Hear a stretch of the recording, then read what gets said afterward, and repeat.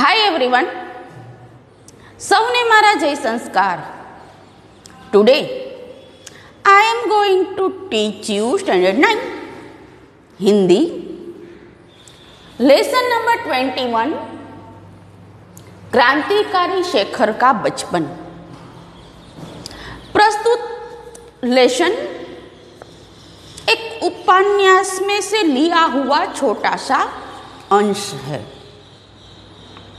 हम सभी जानते हैं कि अंग्रेज़ों ने, ब्रिटिशरों ने हम पर 500 साल से भी ज़्यादा राज किया। हमें गुलाम बनाकर रखा। कई सारी चीज़ें हमसे छीन ली। ये सब बातें हमें हिस्ट्री में दिखाई देती है। लेकिन जब देश में असहकार का आंदोलन चल रहा था, देश को आज़ाद करने की आंधी चल रही थी, तब कितने बड़े बड़े स्वतंत्र सेनानियों ने अपना खून देकर हमें आज़ाद किया है। हमें उसका ऋण उतारने का अवसर मिले तो उतारना है। वरना ऐसे ऋण से हम कभी मुक्त नहीं होते। जैसे हम अपने माता पिता और गुरु के ऋण से मुक्त नहीं होते, वैसे ही हम स्वतंत्र सेनानियों के ऋण में से मुक्त नहीं होते। कितना कितना बलिदान दिया कितना कितना त्याग किया कितनी सारी तकलीफें झेली, यहाँ तक कि मृत्यु दंड। तभी जाकर हमें स्वतंत्रता मिली है। एटलीस्ट हम ऐसा तो कर ही सकते हैं कि वह स्वतंत्रता हम बरकरार रखें, हम कायम रखें। आज समाज में दूषण है ही। कई सारे दूषणों ने हमारे समझ को बंदी बनाकर रखा है, हमारे देश को बंदी बनाकर रखा है। ऐसे दूषणों से छुटकारा पाए, पाने का कोशिश करे, प्रयत्न करे वह भी एक स्वतंत्रता बनाने वाली बात होगी। प्रस्तुत लेसन में निडर आज़ाद, चंद्रशेखर आज़ाद कैसे थे, उसके लक्षण कैसे थे, उसका दिमाग कैसा था, वो किस दिशा में चलता था, ये सब बाखूबी दर्शाने का छोटा सा प्रयत्न किया है। असहयोग की एक ऐसी लहर आई कि सारा देश उसमें बह गया। शेखर भी उसमें बहने की चेष्टा करने लगा। जब वह नहीं बह पाया, तब हाथों से खेलकर अपने को बहाने लगा। बहुत छोटा था चंद्रशेखर। वो समझ पाता था कि देश में क्या चल रहा है, क्या हो रहा है, अभी किसकी ज़रूरत है। लेकिन उम्र की, आयु की वजह से वो जितना करना चाहता था, वो नहीं कर पा रहा था। उसने विदेशी कपड़े उतार कर रख दिए जो दो चार मोटे देसी कपड़े थे उसके पास, वहीं वो पहनने लगा। बाहर घूमने फिरने जाना उसने छोड़ दिया, क्योंकि इतने देसी कपड़े उसके पास नहीं थे कि वो बाहर जा सके। प्रायः दोपहर को वह अपनी खिड़की पे पास खड़ा रहता और बाहर देखता रहता। कभी दूर से जब वो बहुत से कंठों की समावेत पुकार उस तक पहुँचती थी। असकार क्या करना है? सभी विदेशियों चीज़ों का यहाँ तक कि कपड़ों का भी त्याग करना है। ऐसा उसके समझ में आ गया। उसने सारे विदेशी कपड़े उतार कर रख दिए। हालाँकि उसके पिताजी बहुत बड़े अफसर थे। घर में अंग्रेज़ी का वातावरण था। घर का रहन सहन बहुत अच्छा था। बच्चों को किसी भी चीज़ की कमी नहीं थी। वो शिक्षा हो, खाने पीने की बात हो, खेलने की बात हो या फिर कपड़ों की बात हो। लेकिन चंद्रशेखर ने उस आंधी में आकर सारी विदेशी चीज़ों का त्याग कर दिया। घर में दो चार देशी कपड़े थे। उससे वो काम चलाने लगा। सोचो, कितना बड़ा योगदान। देसी कपड़ों की वजह से वो बाहर घूमना फिरना बंद हो गया। लेकिन दोपहर को वो खिड़की के पास खड़ा रहता। और बाहर क्या हो रहा है, वो देखने की चेष्टा करने लगता। गांधी का हो बोलबाला दुश्मन का हो मुँह काला। तब उसके प्राण पुलकित हो उठते और वो अपनी खिड़की से पुकारने लगता। गांधी का हो बोलबाला दुश्मन का मुँह हो काला। तभी उसके कंठ में वो आवाज़ मिक्स हो जाती। उसके कर्णपटल में वो आवाज़ मिक्स हो जाती। कानों से लेकर वो स्लोगन उसके दिल और दिमाग पर छा गया कि गांधी जी का हो बोलबाला, दुश्मन का मुँह हो काला। उससे आगे वह जा नहीं सकता। घर में से अनुमति ही नहीं थी, लेकिन अनुमति का न होना ही एक अंकुश था। निरंतर वो कोई मार्ग ढूँढने के लिए प्रेरित हो जाता घर में अंकुश था। घर में वातावरण सख्त था। लेकिन ये अंकुश ने ही उसको दूसरा मार्ग ढूँढने के लिए प्रेरित कर दिया। माँ के अतिरिक्त सारे लोग एक दिन बाहर गए हुए थे। माँ ने कोठे पर बैठी थी। शेखर ने सब कमरों में जाकर विदेशी कपड़े बटोरे, खुली जगह पर ढेर किया। फिर लैंपे लाकर उन पर मिट्टी का तेल उंडेला और आग लगा दी। मार्ग मिल गया। एक दिन माँ अकेली ही थी घर पे। असहकार आंदोलन में विदेशी व्यक्तियों का विदेशी कपड़ों का त्याग करने की सोच थी। तभी मौका देखकर शेखर ने सारे कपड़े, घर के सभी लोगों के कपड़े इकट्ठा कर लिए और उसको आग लगा दी। आग एकदम भपक उठी। शेखर की आला दाग भी भपक उठा। वह, आग के चारों ओर नाचने लगा और गला खोल कर गाने लगा। गांधी का हो बोलबाला, दुश्मन का मुँह हो काला शेखर को यह बहुत अच्छा लगा। अपने एक कदम पर मनने वाली सफलता उसे नसीला बना देती है। और वो आग की चारों ओर गला फाड़ फाड़ कर नाचने लगा और गाने लगा कि गांधी जी का हो बोलबाला, दुश्मन का मुँह हो काला थोड़ी देर में माँ आई, थोड़ी देर में विदेशी शेखर के गाल भी विदेशी हो गए, जलने लगे, लेकिन ढेर तो राख हो गया। थोड़ी देर में ये सुनकर, ये देखकर माँ दौड़ी दौड़ी नीचे आई और बहुत पीटा। लेकिन सारी विदेशी कपड़े राख हो गए इस बात का शेखर को संतोष था। शेखर के मन में विदेशी मात्र प्रति के लिए धुणा हो गई। उसने देखा कि हमारी नस नस में विदेशी प्रभुत्व है ही नहीं, लेकिन आंतक भरा हुआ है।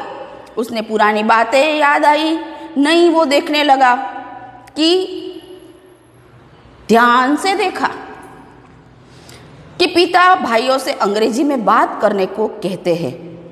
यह सब शेषव से अंग्रेज़ी बोलना चाहते हैं। हिंदी तो अभी सीख रहा है। उसकी पहली आया ईसाई थी, वो अंग्रेज़ी ही बोलती थी।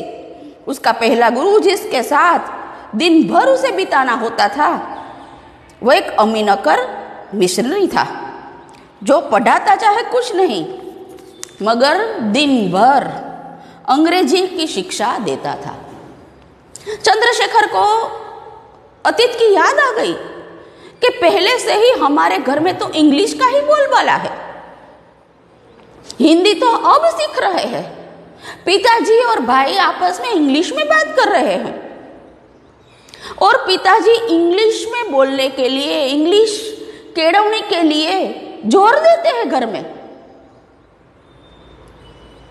अंग्रेज़ मिशनरी जो पढ़ाता कुछ भी हो, लेकिन सारा दिन इंग्लिश बोलता रहता है। शेखर ने देखा कि यदि मातृभाषा वह है तो वो हमसे पहले सिखाते। अंग्रेज़ी उसकी मातृभाषा है तो विदेशी ही उनकी माँ। उनके आत्माभिमान को बहुत सख्त धक्का लगा, जिसे मैं द्रोणित समझता हूँ। उसी विदेशी को माँ कहने के लिए बाध्य हूँ। उसने उसी दिन बड़ी लगन से हिंदी पढ़ना आरंभ किया। और चेष्टा से अपनी बातचीत में से अंग्रेज़ी शब्द निकालने लगा। अपनी आदतों से वो विदेशी अभ्यास को दूर करने लगा। इतनी समझ उसमें आ गई कि हिंदी हमारी मातृभाषा है। इंग्लिश हमारी मातृभाषा नहीं है। मैं अपनी माँ से अपना लगाव कैसे दूर कर सकता हूँ? पढ़ने में और सुनने में यह बात बहुत छोटी है, लेकिन उसका ज्ञान, उसका अर्थ बहुत बड़ा है कि हमें कभी अपने को दूर हटाकर औरों को अपने नज़दीक नहीं लाना है। अच्छी परदेसी बात सीखनी है, समझनी है, लेकिन हमारा जो अपनत्व है उसे हमें बरकरार रखना है, बनाए रखना है। तभी से वो हिंदी बोलने लगा। और हिंदी में कुछ शब्द न मिलने के कारण वो चेष्टा से अपनी बात औरों को समझाने लगा। और अपने हिंदी के ज्ञान को प्रमाणित करने लगा। और गांधी जी के प्रति अपनी श्रद्धा जिसे व्यक्त करने का कोई साधन उसे प्राप्त नहीं था। उसने एक राष्ट्रीय नाटक लिखने का प्रारंभ किया। जीवन में देखे एकमात्र खेल की स्मृति उसे ताजी थी। वो गांधी जी के प्रति अपनी सोच, अपनी लागणी व्यक्त करने की सोचने लगा कि मैं गांधी जी को कैसे इस्तेमाल होने वाली चीज़ें दे सकूँ। उपयोगी हो सकूँ। इसीलिए उसने नाटक लिखना आरंभ किया। इसलिए नाटक लिखने में उसे कोई विशेष कठिनाई नहीं हुई। प्रस्तावना ज्यों की त्यों हथियाली, केवल कुछ मामूली से परिवर्तन करने पड़े। उसने बाद नाटक आरंभ हुआ। एक स्वाधीन लोकतंत्र का भारत का विराट स्वप्न जिसके राष्ट्रपति गांधी है और सिद्धि के लिए साधन है। अनावृत कताई, बुनाई, विदेशी माल और मनुष्य का परित्याग, प्रत्येक अवसर पर दूसरा गाल आगे कर देना। जो गांधी जी की सोच थी, जो विचार सरनी थी, वो इस नाटक में आ चुकी थी। कि कोई एक तमाचा मारे तो दूसरा तमाचा खाने के लिए अपना दूसरा गाल आगे कर देना चाहिए। इस बात से दुश्मन बहुत पछताता है, शर्माता है। दूसरी बात, स्वदेशी मनुष्य और स्वदेशी चीज़ों का उपयोग। सत्य हरिश्चंद्र का इंद्रलोक प्रारंभ से हटकर अंत में आ गया। अपने ऊपर शेखर की प्रतिमा द्वारा सूर्यास्त के सुनहरे टापू की छाप लेकर शेखर ने नाटक का अंतिम दृश्य थिया। स्वाधीन और बाधाहीन भारत, एक स्थूल आकार, एक स्थूल स्वप्न। नाटक का अंत यही था कि एक स्वतंत्र भारत, जो किसी की बंधन में नहीं है, ऐसे नाटक की शेखर ने रचना की। नाटक तो पूरा हो गया, शेखर ने सुंदर सी स्याही से उसकी प्रतिलिपि तैयार की और अपने पुस्तक के नीचे छुपा कर रख दिया। पहले साहित्यिक प्रयत्नों की गति उससे भी याद थी, इसलिए अपना यह नाटक वह अमूल्य रत्न को कम नहीं समझता था। सरस्वती को भी नहीं दिखाया और हर समय जहाँ जाता, उसके मन में एक ही ध्वनि गूंजती रहती। कि मैं शेखर हूँ। एक अपूर्व नाटक का लेखर शेखर। और मैंने अकेले ही बिना किसी सहायता के अपने हाथों से उसका निर्माण किया है। स्वाधीन बाधाहीन भारत, उसका चित्र और मैंने। ये नाटक ने चंद्रशेखर का आत्मविश्वास दृढ़ कर दिया। हालाँकि हम सब जानते हैं कि खुद वो नाटक लेखक लिखा ही नहीं। जो का त्यो हथया लिया है। लेकिन उसकी कल्पना का रंग उसमें डाला। जैसा मुनासिब समझा डाला। और सुंदर सी प्रतिलिपि भी तैयार की।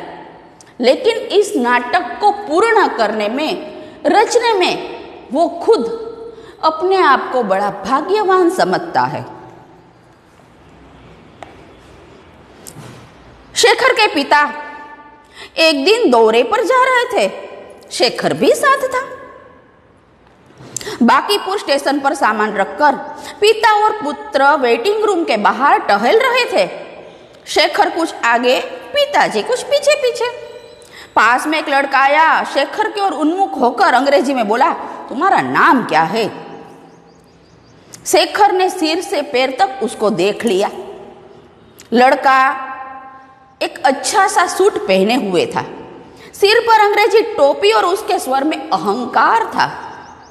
शायद वह अपने अंग्रेज़ी ज्ञान का परिचय देना चाहता था।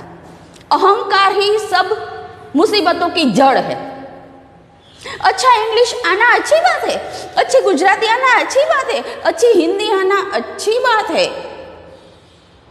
जो कुछ हमें सीखते हैं, सीखने को मिला है वो अच्छे से सीखना एक आम बात है।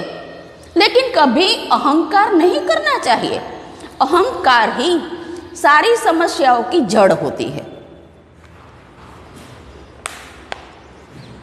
शेखर को प्रश्न बुरा और अपमानजनक लगा। उसने उत्तर नहीं दिया। कुछ इसलिए नहीं दिया कि पीछे पिताजी थे और पिता की उपस्थिति में बात करने के लिए वो झिझकता था। पिताजी का इतना डर, इतना खौफ उसके मन में था। पहले के जमाने में घर के सारे बच्चे पिताजी से डरते थे। आज पिता और पुत्र का संबंध फ्रेंडली हो गया है। पुत्र कभी अपने पिता से बिना वजह के लिए डरता नहीं है। बिना वजह किसी के से भी डरने की आवश्यकता नहीं है। हम माता पिता का सम्मान करें यह बहुत अच्छी बात है। उसका एक प्रकार का मर्यादा का पालन करे, अच्छी बात है। लेकिन कभी जीवन में माता पिता से सच्ची बात करने का अवसर मिले तो बिना वजह डरने की कोई बात नहीं है। हालाँकि अभी इस समय में ऐसा वातावरण है कि बच्चे खुले मन से अपने माता पिता से अपने मन की बात कर सकते हैं। उस लड़के ने समझना कि उसका सामना करने वाला कोई नहीं है। वो लड़का शायद अंग्रेज़ी जानता ही नहीं। उसने अति रोप में कहा मेरा नाम ये है। तुम किस स्कूल में पढ़ते हो? शेखर के पिता वहाँ न होते। तो वो शेखर उसे जवाब दे देता लेकिन हिंदी में। उसके मन में यह भी संदेह था कि शायद लड़का कोई पाठ दोहरा रहा है। अंग्रेज़ी उतनी जानता ही नहीं। उस ध्रुणा से उसने लड़के की ओर देखा और कोई उत्तर नहीं दिया। शेखर जान गया कि वो लड़का इतनी अंग्रेज़ी नहीं जानता जिसका वो दिखावा कर रहा है। वो गोखंड पट्टी है। आगे से याद करके वो बोल रहा है। हमारे वाक्य, हमारी बोली हमेशा वास्तविक होनी चाहिए। जो याद करने वाला गोखा हुआ हम बोलते हैं, सामने वाले व्यक्ति को वो स्वाभाविक नहीं लगता। और हमारी बेइज्जती हो जाती है। हमें दूसरों से बात करने के तरीके में स्वाभाविकता का पहले ख्याल रखना चाहिए। पिता ने क्रुद्ध स्वर में कहा कि मेरा लड़का इंग्लिश जानता है, लेकिन जवाब नहीं देता। शेखर और भी चुप हो गया। वह लड़का मुस्कुराकर धीरे से आगे चल गया। पिता ने कहा, इधर आओ। शेखर उनके पीछे पीछे वेटिंग रूम में आया। पिता ने उसका कान पकड़कर पूछा, जवाब क्यों नहीं दिया? मुँह टूट गया है तुम्हारा? तभी ट्रेन आई और शेखर कुछ उत्तर देने या न देने की गुस्ताखी से बच गया। दूसरे दिन घर पर पिता ने माँ से कहा, हमारे लड़के साव बुद्धू है। किसी के सामने कुछ भी बोल नहीं सकते। शेखर ने ये सुन लिया। ये लेसन यही समाप्त होता है। लड़के ने आकर इंग्लिश प्रभाव डालने का प्रयत्न किया। शेखर कहीं ज़्यादा इंग्लिश जानता था, बोल सकता था, समझ सकता था। लेकिन विदेशी वस्तु का परिग्रह त्यागने का परिग्रह के कारण उसने कुछ उत्तर नहीं दिए। पिताजी ऐसा समझे कि शेखर बुद्धू है। वो इंग्लिश नहीं जानता। जानता है तो बोल नहीं पाता। ऐसी गलत फहमी पिताजी के मन में हुई। लेकिन पिता पुत्र की मर्यादा के कारण शेखर ने उसे कुछ नहीं कहा। कुछ उत्तर नहीं दिया, कुछ भी बात का क्लियरिफिकेशन नहीं दिया। पिताजी इसी वहम में है कि हमारे बच्चे साव बुद्धू है। उसने शेखर की माताजी को भी कहा कि हमारे बच्चे साव बुद्धू है। शेखर ने सिर्फ़ ये सुन लिया, कोई भी प्रत्युत्तर नहीं दिया।